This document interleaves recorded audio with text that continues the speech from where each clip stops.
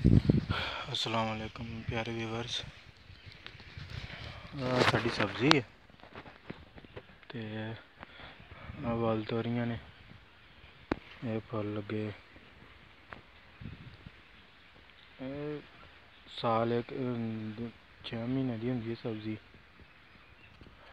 ਜ਼ਿਆਦਾ ਵੀ ਲੱਗ ਜਾਂਦੀ ਹੈ ਥੋੜੀ ਵੀ ਲੱਗਦੀ ਰਹਿੰਦੀ ਹੈ ਇਹ ਤੇ ਬਿਮਾਰੀ ਦਾ ਹੁੰਦਾ ਬਿਮਾਰੀ ਤੋਂ ਬੰਦਾ ਬਚਾਅ ਕਰ ਲਵੇ ਆਹ ਦੇਖੋ, ਆਹ ਫੁੱਲ ਲੱਗਾ। ਤੇ ਆ ਫੁੱਲ ਤੋਂ ਬਾਅਦ ਇਹ ਵਲ ਤੋਰੀ ਲੱਗਦੀ ਹੁੰਦੀ। ਇਹ ਲੱਗੀ ਵਲ ਤੋਰੀ। ਇਹ ਵੀ ਲੱਗੀ ਹੈ, ਇਹ ਪੱਕ ਚੱਲੀ ਹੈ। ਆ ਦੇਖੋ, ਇਹ ਛੋਟੀ ਛੋਟੀਆਂ ਲੱਗੀਆਂ ਵੀ ਨੇ।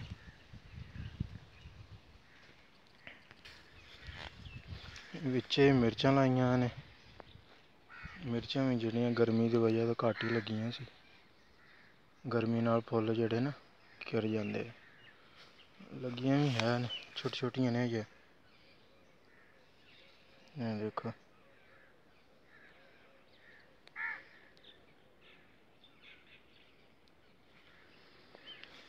ਹਾਈਬ੍ਰਿਡ ਮਿਰਚ ਆ।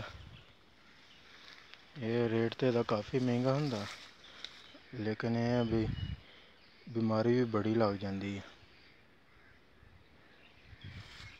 ਵਿੱਚ ਹੀ ਭਿੰਡੀਆਂ ਤੋਰੀਆਂ ਨੇ ਲੇਡੀ ਫਿੰਗਰ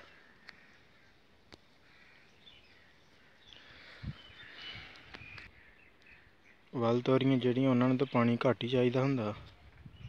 ਲੇਕਿਨ ਇਹ ਆ ਵੀ ਸਪਰੇਅ ਵਗੈਰਾ ਯਾਨੀ ਕਿ ਕੀੜੇ ਵਗੈਰਾ ਤੋਂ ਬਚਾਉਣ ਵਾਸਤੇ ਸਪਰੇਅ ਕਰਨੀ ਪੈਂਦੀ ਹੁੰਦੀ। ਇਹ ਦੇਖੋ ਦਰਖਤਾਂ 'ਤੇ ਵੀ ਚੜ੍ਹ ਬਹੁਤ ਫੈਲ ਜਾਂਦੀ ਹੁੰਦੀ ਹੈ। ਇਹ ਭਿੰਡੀਆਂ ਦਾ ਵਾ। ਭਿੰਡੀਆਂ ਲੱਗੀਆਂ ਨੇ। ਇਹਨੂੰ ਇਹ ਵੀ ਥੋੜੀ ਬੀਜੀ ਸੀ।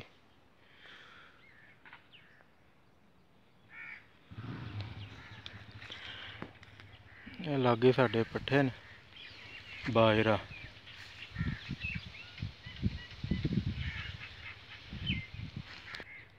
ਸਬਜ਼ੀ ਤੇ ਸਾਡੀ ਇਹੋ ਹੀ ਸੀ। ਇਹ ਵਾਲ ਤੋਰੀਆਂ ਲੱਗੀਆਂ ਨੇ ਇਹ ਕੱਦੂ ਲੱਗੇ ਨੇ